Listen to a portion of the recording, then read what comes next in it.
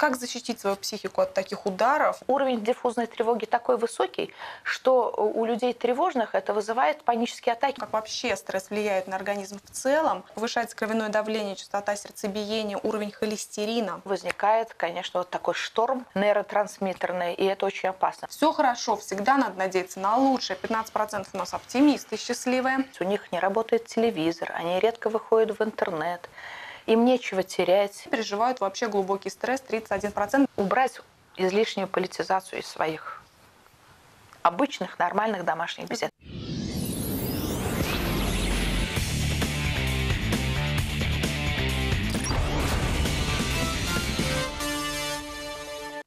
Здравствуйте, это программа «Актуальный разговор». Меня зовут Дарья Петрова. Негативные новости и общий тревожный фон. Врачи-психиатры наблюдают повышенную тревожность у россиян. И вызвана она самыми разными факторами. Как снизить стресс и успокоиться, куда можно обратиться за помощью и что делать, если она потребовалась вашим близким. Обсудим прямо сейчас с экспертом нашей программы. А разобраться в этой теме нам поможет доктор медицинских наук, профессор, врач-психиатр, психотерапевт Лейла Казбековна Шейдукова. Здравствуйте. Здравствуйте. Спасибо, что пришли. Какие у вас сейчас настроения? Спросили мы вас сегодня в нашем опросе. Наводите камеру смартфона на QR-код в углу экрана и голосуйте. А кроме того, задавайте свои вопросы в прямом эфире по номерам 511 99 66 для Казани и 8 800 532 55 бесплатный номер для регионов. Огромное количество у нас негативной информации ежедневно поступает в поле нашего зрения из самых разных источников. Вот как защитить свою психику от таких ударов, ну и при этом все-таки понимать, что происходит в мире – ну, надо сказать, не все население испытывает стресс. А, есть какой-то определенный процент, который отсек от себя средства массовой информации. То есть у них не работает телевизор, они редко выходят в интернет им нечего терять, ни собственности, они не берут там ипотеку, им не о чем беспокоиться, они воспитывают там очень небольшое количество детей, разведенные женщины, которые не беспокоятся за мужей и так далее и тому подобное. И я с ними разговаривала, они абсолютно спокойные. Многие даже испытывают какое-то Э, удовлетворение, вот какая-то такая фронда от того, что я вот я же говорил, я все правильно предсказал, и ему ничего не грозит. Это возрастные люди, которые сидят на своем месте и тоже, в принципе, ничего не теряют. То есть для них э, жизнь не является угрожающей. Э, стресс в основном все-таки с 18 до 55 лет людей мужского пола больше всего. И ну, мы знаем эти категории людей – и бороться с этим стрессом очень тяжело, потому что внешние события очень быстро меняются. То есть если раньше медленно жизнь текла, как-то смешные наши были горести и потери, смешные наши были переживания, то на фоне прошлого, конечно же, сейчас он более такой э, динамичный каждый день да что каждый день, каждый, каждый час, час, каждую минуту все каждую меняется, минуту да. все меняется и приносит. И вот люди не выдерживают этого темпа. Угу. Как все-таки фильтровать для себя какие-то новости? Как понять, что ну, наверняка не все из них имеют прямое какое-то отношение лично к тебе и, может быть, даже вообще тебя не касаются, а ты все равно травмируешься, когда смотришь, что-то читаешь? Ну, есть люди совершенно зависимые, вот те, которые телевизионная зависимость. То есть они сидят на этом телевизоре и слушают все подряд. Политические передачи, зачем нам столько политики, это никто не знает. Все эти токи, э, беседы и так далее. Э, конечно, эту кнопку аларм реакции тревожной надо убрать уже. Она что-то все время теперь у некоторых людей в рабочем режиме. То есть, конечно, отсекать, отсекать и отсекать. Надо четко отсепарировать, что для тебя основное, важное, что второстепенное. Надо знать, что выполняя свою работу, э, а, ну, а что еще можно сделать в данной ситуации? Делай, что должен, да? И, и делай, что, что должен, mm-hmm. и будь, что будет. Mm-hmm. Но есть еще одна это всем смертям на зло в прямом и переносном смысле. То есть не просто нейтрально иди по течению. Нет. Э, делай нечто, что, за что будешь себя уважать. Пусть на гражданской, но социальная позиция, вот такая гражданская. Она в целом должна быть у людей. Вот сейчас очень многие замечают за собой даже такой термин, как панические атаки. Но мы тоже должны, наверное, понимать, что не всякая тревожность есть паническая атака. Вот собрали вот такие симптомы мы. Это затруднение дыхания, головокружение, колотится сердце, знобит или бросает в жар, бросает в пот, тошнит, ощущение нереальности – вот такие вот симптомы, как вы их прокомментируете? Что есть паническая атака? Вы не поверите, в прошлую неделю три человека обратились с паническими атаками. И это только ко мне, а что говорить о тех, кто сидит на приеме, то есть это действительно все участилось. Когда я спросила о содержании панических атак, это связано вот с такими событиями, мне сказали, нет, это абсолютно личное содержание.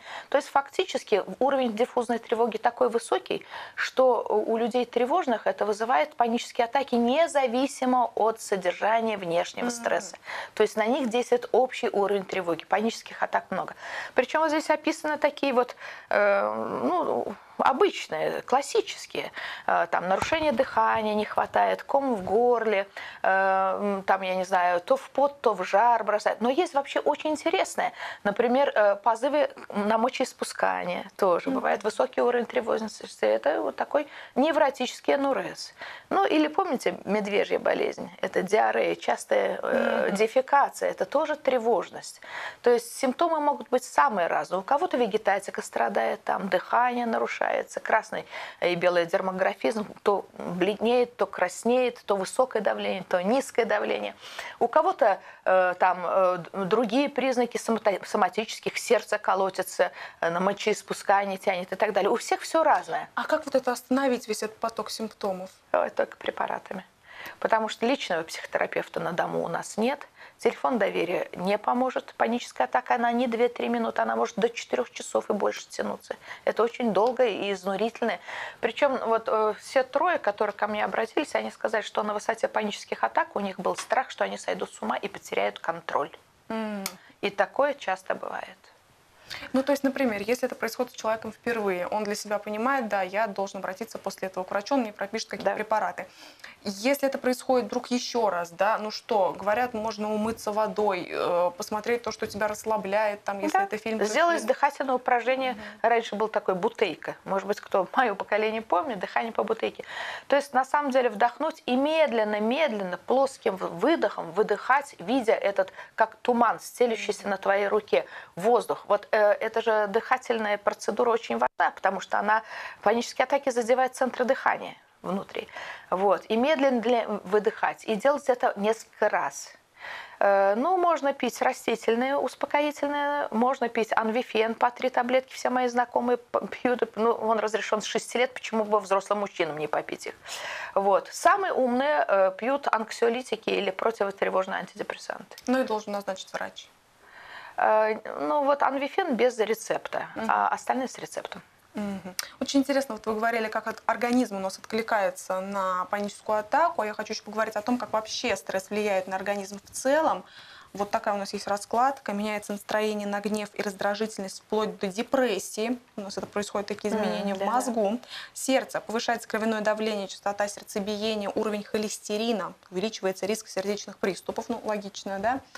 А, почки, боли в желудке, рвота, тошнота, снижается либидо и сексуальное влечение, начинаются расстройства репродуктивной системы у мужчин и женщин, но плотность даже костей якобы от стресса уменьшается. Что только нет. Хорошая раскладка, так все и есть. Выделяются нейротрансмиттеры, все, что у нас есть. Это норадреналин и адреналин, катехоламины. Это серотонин и дофамин зашкаливает это гидрокортизол. Кора надпочечников начинает просто-напросто источать. Он, это токсично в больших количествах. И когда бывает, что гормоны стресса, нейротрансмиттеры стресса вдруг одномоментно выбрасываются, то возникает, конечно, вот такой шторм нейротрансмиттерный, и это очень опасно для сердечной мышцы, для сосудов, для всего для всего. Вот в таком случае как с этим справиться? Условно, вот мы прочитали какую-то новость или узнали какую-то ну, неприятную деталь, да, что что-то что-то повлияло на наш стресс. Что мы делаем, чтобы не произошло вот этих всех ужасных симптомов? Ну, как говорил Антон Павлович Чехов, из, лимо, из любого лимона делай лимонад все-таки ты должен переработать э, неприятную информацию и посмотреть на рациональные какие-то составляющие. Все, что выложено на стол и рационально раскидан, уже не является стрессогеном. Стресс – это эмоция, это мощная, а рациональность – это э, анализ, синтез, когниция и так далее. Все-таки надо голос разума к этому как-то призвать и посмотреть, каким образом можно выйти из этого стресса с наименьшими потерями, с наименьшими. Совсем избежать нельзя. Каким образом можно выйти из этого? Для этого нужна, конечно, антиципация, предвосхищение, что будет, если то есть подготавливать себя чуть-чуть заранее, да? Заранее, да. И, конечно, надо обесценить фактор стресса. Если не получается, то смириться с этим и сказать, ну вот, на все воля Божья. Да, именно так. Ага. А расскажите, пожалуйста, кто вот легче переживает стресс, мужчина или женщина? Есть ли какая-то, может быть, разница в физиологии в этом плане? Да, по-разному. Женщина э, переживает демонстративно, поистерически рыдает, плачет, рвет на себе волосы. Но, э, вот это условно, конечно, но тем не менее. Выливаясь со слезами, она выливает из себя токсины. Ну, это тоже условно, конечно, слезы всех токсинов не выливают. Но тем не менее, то, что она вы, вы, выводит из себя гнев, э, эмоцию, не, да? эмоцию, а не сжимает ее сердце, каким-то образом расслабляет, прорыдаться – но мужчины свою мужскую скуп... слезу они пускают, и у них идет, конечно же, направление делегирования стресса на внутренние органы. Поэтому у них инсульты, поэтому у них инфаркты обширные, Половая дисфункция, как выяснилось, Ой, это уж самые меньшие по нынешним временам из бед. Половая дисфункция. Это так. Ну что тогда, надо посоветовать мужчинам, чтобы они выговаривались, может быть, не стеснялись ну, вот даже, не, даже. Вот даже пусть не стесняются, формируют свои мужские клубы. Женщины же формируют клубы клубы э, разведенных женщин, которые ненавидят своих мужей. Я, я знаю, такой клуб есть. Прямо они вот выкладывают туда, э, значит, свидетельства о разводе, вот друг другу советы дают. Вот ненавидят. Ну, это по всему миру так. Пусть клубы мужчин говорят, советуются. Это групповая психотерапия из друзей. Только надо сделать так, чтобы не было три э, паникера, mm-hmm. что кто-то брал на себя психотерапевтическую роль, Э, успокаивающую, да, психотерапевт, а кто-то, ну, это групповая психотерапия внутри какого-то маленького сообщества. Угу. Вот если какой-то стресс вызван не просто какими-то внешними обстоятельствами, да, жизненными, а конкретной непосредственной причиной, которая касается лично тебя, будь то потеря работы, развод, э, не знаю, там, закредитованность, э, может быть, в это непростое время, еще какими-то конкретными жизненными ситуациями. Вот как быть в этом случае? Как работать вот, с действительно причиной? Да, Безработица – очень сильный стрессор. Неспособность заплатить по кредиту, люди перекредитовываются, берут новые банки и так далее. И вот эта гонка постоянная, пока им окончательно все. Это все, конечно, очень оказывает стрессогенное действие. И организм, конечно, реагирует. Э, надо просто-напросто эти мирные стрессы сравнить со стрессами военного времени потому что они совершенно разные по своему контенту, совершенно разные по своему содержанию. И то, что в мирное время нам казалось какой-то непреодолимой проблемой, какие-то смешные вот наши переживания э, на фоне э, других мощных событий, стрессов, да. событий, конечно, кажется просто э, какими-то пустяшными, несерьезными. А вот может сравнение? Может ли вот какой-то общий тревожный фон каким-то образом повлиять на тех, у кого и так осенью своего, своего рода изменения, обострения, как мы называем это в простонародье? Угу. Мы всегда говорили об осенних обострениях. И нам казалось, что уж вот хуже обострения ничего быть не может. Оказалось, это и это тоже ерунда. Проходит осень, наступает зима, Новый год, и все это проходит. А вот если на осеннее обострение, которое так и так имеет сезонность, да, э, появляются новые стрессы, и не один, а один за другим, как быть тогда? Ну, остается только одно. Все-таки пить антидепрессанты. Вся Америка сидит на тренингах и антидепрессантах. Отсюда американская улыбка. Вот сегодня тоже у многих, наверное, ожесточенные такие бои ведутся да. и дома, да, и не только дома, может быть, на работе. Ну, то есть есть люди совершенно разных мнений. Вот как в этом случае себя правильно вести? Может быть, не поддаться тоже каким-то тут паническим настроениям? Ой, в семьях сейчас во многих война. То есть одни берут одну сторону, другие берут другую сторону. И я вспоминаю, вот в России это же уже было. Помните, гражданская война, читая Михаила Шолохова «Тихий дон», брат на брата, сын на отца. Вот нечто подобное случается в наших семьях. Я бы посоветовала все-таки посмотреть на вечное. И в конце концов убрать излишнюю политизацию из своих обычных, нормальных домашних бесед. бытовой, да. Усилием воли. Вот хочется обсуждать, хочется жаловать, проклинать или наоборот хвалить, высказывать патриотические чувства. Ничего не надо. Живите нормальной человеческой жизнью. Вот мне так кажется. То есть просто изолируем как бы от себя Да, отсекаем вещи. эту политическую тему, на которую мы не влиять, ничего-то не можем. Отсекаем какую-то тему э, невротическую, вот, связанную да, с различными стрессами Да. мирного характера. И тоже. Ты решай вопросы. Зачем обсуждать так их много? Мгм. Ну, на всякий случай давайте мы, может быть, покажем телефон доверия, который есть у нас в республике. 8 800 2122, единый номер телефона доверия.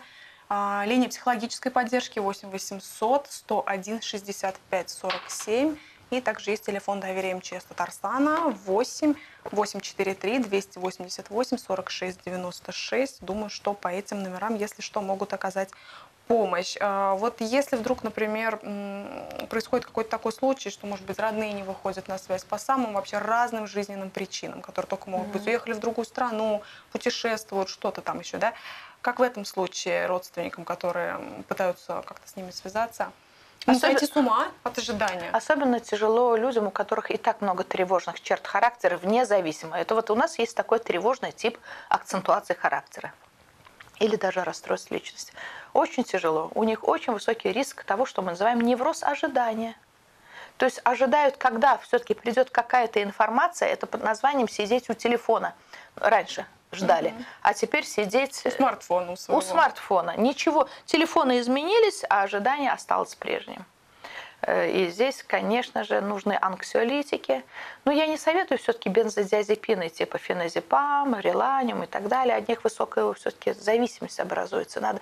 Нельзя вообще препараты вот такого бензодиазепинового ряда э, на высоте э, своих расстройств, потому что полегчает, а потом это В депрессию скатится? да, нет, потом захочется возобновлять. И таким образом формируется зависимость. Да, тогда ни в коем случае. Да, да, поэтому пролонгаторы, антидепрессанты. Вот это я советую. Мгм. Давайте мы обратимся к результатам нашего опроса. Напомню, что еще перед началом программы в нашей официальной группе ВКонтакте Татарстан24 запускали опрос. В нем спрашивали у вас, уважаемые телезрители, какие у вас сейчас настроения. Все хорошо, всегда надо надеяться на лучшее. 15% у нас оптимисты счастливые. Да. Тревожно, говорят 53% опрошенных. И переживают вообще глубокий стресс 31%. Давайте, может быть, вот по всем этим категориям пройдемся. Все хорошо, всегда надо надеяться на лучшее. Нам, наверное, остается только порадоваться. Ну, я сказала, это категория людей, которым и терять нечего, которые по своей характерологической структуре простоваты, даже до примитивности. Иногда это помогает. Сложные невротические натуры стрессы переносят так же сложно, как структура их личности. А вот простые, которые говорят, ну, слава Богу, слава Аллаху, есть пить, есть там все, все он там вот... э, Может, это наоборот мудрость? Оказывается, в стрессовых условиях вот 15% оказалось, что она самая защищенная психологическая. Для мирной жизни вот эта сложность личностных образований очень важна. Она дает многообразие человеческого мира, э, красоту, варианты. А это как примитивный какой-то там одноклеточный. А для стресса оказалось, что одноклеточное, что не для людей будет сказано, выживают первыми, а все остальные погибают от инсульта и инфарктов. Вот большинство у нас тревожно сейчас. Давайте, может быть, совет какой-то дадим, чтобы люди меньше тревожились. Мгм. Ну, Изолируем первое, новости. первое, сепарация, отсекаем тревогу. Как хотите, так отсекайте. Я усилием воли не включаю интернет, не включаю теперь эти кое-какие передачи, которые с утра до вечера. Ну, кое-что смотрю новости, но к этому готовлюсь психологически. Итак, второе, психологическая подготовка. То есть э, ты себя готовь к тому, что можешь услышать нелицеприятную новость. А, Третье, э, это, конечно, психотерапия. Самое время пойти на группы поддержки, причем семейные, Общаться с людьми в целом, наверное. общаться с людьми. Ну и четвертое, ну не обойтись без анксиолитиков, транквилизаторов и антидепрессантов. Вот пришло время, Дарья. Вот Ой. пришло время, да. да? Переживают те, кто глубокий стресс, но это, наверное, действительно уже к психиатрам, к психотерапевтам, да? Да, вне всякого сомнения, потому да. что у них может быть и язвенная болезнь желудка, стресс порождает еще очень тяжелые соматические заболевания. Ну, будем надеяться, что Ну, будем. Да, с Будем. надеждой на лучшее все будет Да, хорошо. да, да. Спасибо вам большое за эту интересную, полезную беседу. Это была программа «Актуальный разговор». Сегодня обсуждали мы, как пережить происходящее вокруг. Спасибо вам за то, что сегодня были с нами. Всего доброго и до встречи. Подписывайтесь на канал Татарстан 24, не пропускайте интересные выпуски, жмите колокольчик.